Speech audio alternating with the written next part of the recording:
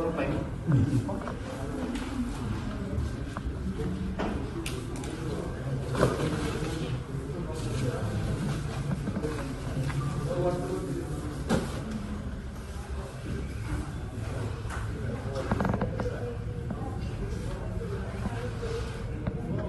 সমাগত লোকসভা নিৰ্বাচন আৰু নিৰ্বাচনক লৈ দেখা গৈছে প্ৰতিটো দলৰ কুচকাৱাজ ইতিমধ্যে আৰম্ভ হৈছে।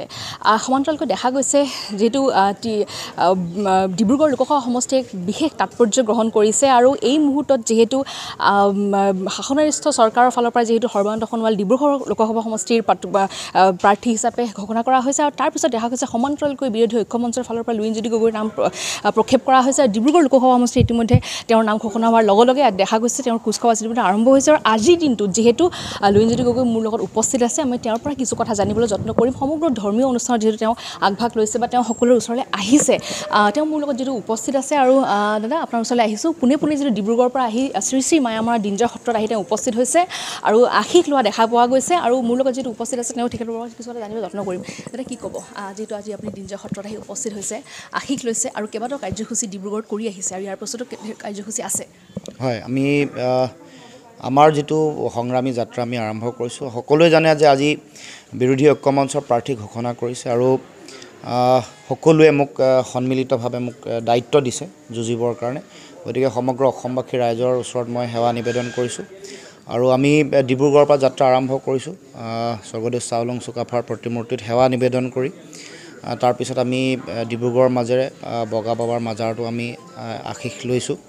আৰু আহি এতিয়া আমি দিনজয় সত্ৰত আমি আমি উপস্থিত হৈছোঁহি আৰু ইয়াতে সত্ৰাধিকাৰ প্ৰভুৰ চৰণত সেৱা নিবেদন কৰিছোঁ আৰু আশীৰ্বাদ বিচাৰিছোঁ যাতে এই যিখন যুঁজ এখন যুঁজ কেৱল মাত্ৰ ৰাজনৈতিক যুঁজ এখনৰ গন্ধিৰ ভিতৰত ৰখা নাই।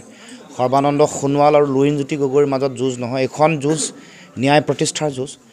অসমৰ থলগিৰি খিলঞ্জীয়া ভূমিপুত্ৰ অসমীয়া মানুহৰ তেওঁলোকৰ আত্মপ্ৰতিষ্ঠাৰ সংগ্ৰামৰ যুঁজ। কাৰণ যিবোৰ অন্যায় চলি আহিছে মানুহৰ মাজত যিটো সাম্প্ৰদায়িকতাৰ বিষবাষ্প বিয়পাই দিছে মানুহৰ মাজত সংঘাত ভাতৃঘাতী দ্বন্দ্ব ধৰ্মীয় উন্মাদনা ঘৃণা এইবোৰৰ পৰা পৰিত্ৰাণ পোৱাৰ আমি এটা চিন্তা লক্ষ্য লৈ আমি এই যাত্ৰা কৰিছোঁ। মূল কথা দেশৰ সংবিধান গণতন্ত্ৰ বচাব লাগে আৰু যিগৰাকী প্ৰাৰ্থী ইতিমধ্যে বিজেপিয়ে তেওঁলোকে দিছে ঘোষণা কৰিছে। এইটো তেওঁলোকৰ দ্বিতীয় পৰাজয়। কাৰণ প্ৰথম পৰাজয় তেওঁলোকৰ তেতিয়াই হৈছে যেতিয়া তেওঁলোকৰ আগৰ প্ৰাৰ্থীগৰাকীক ইয়াৰ পৰা আঁতৰাই নিব লগা হৈছে বা ইয়াৰ পৰা পৃষ্ঠভংগ দিছে। আৰু সোণোৱাল যেতিয়া নাম ঘোষণা কৰিলে কাৰণ সোণোৱাল এনেকুৱা এগৰাকী ব্যক্তি যিগৰাকীয়ে জাতিটোক আটাইতকৈ বেছি ক্ষতি কৰিছে। কাখন জাপি দিয়াৰ পাছত অসমৰ ভৱিষ্যত অন্ধকাৰ দিশলৈ গতি কৰিব। এই কথা সকলোৱে জানে মানুহেতো সমগ্ৰ অসমত ইয়াক ইয়াৰ বিৰুদ্ধে শক্তিশালী ৰূপত বিৰোধ হৈছে সংগ্ৰাম হৈছে। আৰু কাখনৰ সুদূৰ প্ৰসাৰী যিটো ভয়াৱহ প্ৰভাৱ তাৰ উপৰিও তেওঁ অসমৰ ৰাইজে অফুৰন্ত সুযোগ দিছে। বিধায়ক কৰিলে সাংসদ কৰিলে মুখ্যমন্ত্ৰী হ'ল কেন্দ্ৰীয় কেবিনেট মন্ত্ৰী হ'ল তাৰ আগতে ৰাজ্যিক মন্ত্ৰী হ'ল স্বতন্ত্ৰ মন্ত্ৰী। এই পৰিক্ৰমাটোত তেওঁ কিন্তু ডিব্ৰুগড়বাসী ৰাইজ বা অসমবাসী ৰাইজক দিয়াৰ যিটো আমি যদি হিচাপ লওঁ তেতিয়াহ'লে শূন্য। এক জাতীয় প্ৰশ্নত সদায় আপোচ কৰিছে। একেবাৰে নিৰ্লজ্জ আত্মসমৰ্পণ কৰিছে। কেৱল মাত্ৰ নিজৰ ক্ষমতা আৰু পৰিভ্ৰমী পক্ষীৰ দৰে এবাৰ কোনো এটা সমষ্টিৰ দায়বদ্ধতা পালন নকৰি ডিব্ৰুগড়ত যদি সাংসদ হৈছে ডিব্ৰুগড়ৰ পৰা পলাই আকৌ মাজুলীলৈ গৈছে মাজুলীৰ পৰা যদি বিধায়ক হৈছে তাৰ পৰা পলাই আকৌ লখিমপুৰলৈ আহিছে। এনেকৈ যিটো তেওঁৰ পলায়নবাদী যিটো মানসিকতা পৰিভ্ৰমী পক্ষীৰ দৰে তেওঁৰ যিটো কথা এইটোৱে প্ৰমাণ কৰে তেওঁ কোনো এটা সমষ্টিৰ যিসকল তাৰ ভোটাৰ তাৰ যিসকল ব্যক্তি আছে তাৰ যিসকল নাগৰিক আছে তেওঁলোকৰ প্ৰতি কোনো ধৰণৰ দায়বদ্ধতা নাই। আৰু আমি যোৱাবাৰ একৈছ চনতো দেখিছিলে যে ৰাইজে তেওঁকে মুখ্যমন্ত্ৰী পাতিছিলে। কিন্তু নিজৰ ক্ষমতা গাদীখন ৰাখিব নোৱাৰিলে। মই সেইকাৰণে কৈছোঁ যিগৰাকী ব্যক্তিয়ে নিজৰ গাদী ৰাখিব নোৱাৰে তেওঁ জাতিক কেনেকৈ ৰাখিব? আমি সকলো বিষয় দেখিছোঁ অসম চুক্তি একেবাৰে নাইকিয়া নাচ্ছাত কৰি দিয়া হ'ল। কাৰণ কাখন জাপি দিয়াৰ পিছত তাৰ লগে লগে ছয় নম্বৰ দফা কাৰ্যকৰী নকৰিলে তেওঁৰ দিনতে কমিটি বনাইছিলে প্ৰতিবেদন লৈছিলে কিন্তু কাৰ্যকৰী নকৰিলে ছয় জনগোষ্ঠীৰ জনজাতিকৰণ নকৰিলে বান গৰাখহনীয়া সমস্যা ৰাষ্ট্ৰীয় সমস্যা হিচাপে ঘোষণা কৰিম বুলি একো নকৰিলে তাৰ বিপৰীতে ৰহমৰীয়াৰ কথা আপুনি যদি চায় তাৰ লগে লগে মোহনা ঘাটেই হওক বা সকলো এই প্ৰান্তত ব্যাপক গৰাখহনীয়ে আক্ৰান্ত কৰিছে। ৰাইজে আশা কৰিছে যে আপোনালোকে যিহেতু দুয়োগৰাকী নেতা ইতিমধ্যে একেখন মঞ্চৰ পৰাই আহা একেখন মঞ্চৰ পৰা অহাৰ পিছত আপোনালোকে কাম কৰি আছে এনেদৰে। ৰাইজৰ বিশেষ আপোনালোকক সঁহাৰিও জনাইছে এই ক্ষেত্ৰত? নহয় চাওক মঞ্চ একেখনে মাতৃ এগৰাকী। এগৰাকী মাতৃৰ ডাঙৰ সন্তানে যেতিয়া অবাতে যাব নিজৰ মাতৃৰ আদৰ্শ পৰিহাৰ কৰি নিজৰ ব্যক্তি স্বাৰ্থৰ কাৰণে সকলো জলাঞ্জলি দিব তেতিয়া নিজৰ ভাতৃয়ে অন্যায় প্ৰতিষ্ঠা কৰিবৰ কাৰণে বা মাতৃগৰাকীৰ আনগৰাকী সন্তানে অন্যায়ৰ বিৰুদ্ধে ন্যায় প্ৰতিষ্ঠা কৰিবৰ কাৰণে যুদ্ধত লিপ্ত হ'ব লাগিব। মানে যুধিষ্ঠিৰ আৰু দুৰ্যোধন সহোদৰে আছিলে। অহংকাৰী দুৰ্যোধনক অন্যায়ৰ পক্ষত থকা দুৰ্যোধনক নিধন কৰিবৰ কাৰণে পৰাভূত কৰিবৰ কাৰণে অৰ্জুনেতো ধনু গান্ধী উঠাই লৈছিল।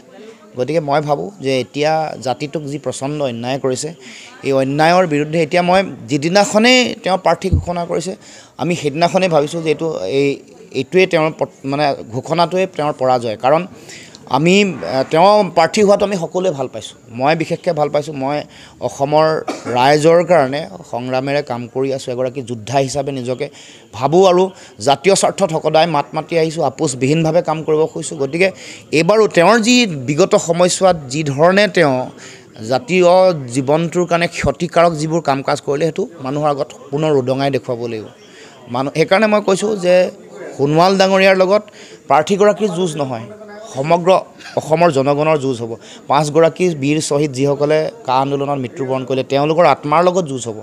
যিসকল সাধাৰণ জনতাৰ জীৱন জীৱিকা এতিয়া ভাৰাক্ৰান্ত অত্যাৱশ্যকীয় সামগ্ৰী মূল্য বৃদ্ধি কৰ কাতলৰ বোজা খাজানা পাঁচগুণ বঢ়াই দিয়াৰ কথা বতৰা এইবোৰে সাধাৰণ জনতাক যিটো কুঙা কৰিছে জীয়াতু ভগাইছে তেওঁলোকৰ লগত সৰ্বানন্দ সোণোৱালৰ যুঁজ হ'ব।